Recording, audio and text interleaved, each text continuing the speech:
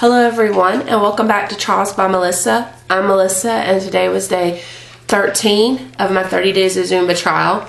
I haven't done my workout for the day yet because um, it's a little bit late so I wanted to go ahead and get the video um, up so that you guys would know kind of what I'm planning to do and how my day went and how I'm feeling.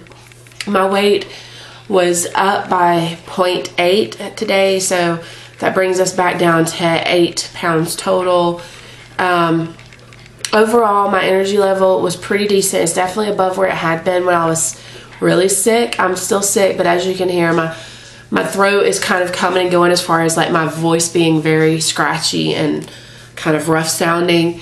Um, I went to work today, but unfortunately, like my boss was concerned that I wasn't well and that I need to go home take care of myself, but also, you know, I don't want to get other people at work sick. So I, uh, I worked about a half a day and then came home and then worked a couple of hours from home. um, overall today, you know, I slept, I'm sleeping pretty decently. I'm still waking up. I had to come home and take a nap because by the time I got home from work, I was like in, I was trembling and I had a cold sweat and it was just like I felt feverish, but I, I didn't have a fever. It was just kind of a nasty blah feeling. Um, you know, overall, I'm really enjoying the Zumba. I'm enjoying the level of activity that it's given me and um, you know, working it into my schedule is not that big of a deal at all.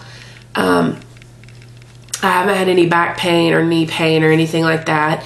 So all that stuff is going really well. Uh, my face is definitely breaking out, and I think it may be because I'm resting before I go take my shower after my workout.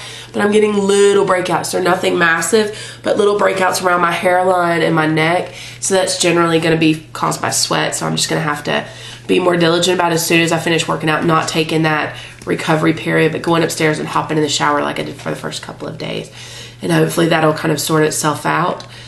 Um, overall, you know, I'm nearing the end of beginners class two. So I have today and then tomorrow of beginners class two, and then I'll actually go to intermediate class one. So that's kind of exciting. I'm a little nervous see what they've they've got in store for me because it's super fast paced workout for class two. And I have a feeling that, you know, I should not expect anything less from intermediate. If anything, it should be even more ramped up than what class two for beginners is. So I'll have to let you guys know how that goes. Um, but other than that, you know, I'm doing pretty good. I'm going to be taking some measurements this weekend and I'll let you guys know if I see any differences. But I'm not doing an extremely robust workout, meaning that it's only like 20, 25 minutes. So it's not an hour long workout. So I don't expect any sort of drastic results.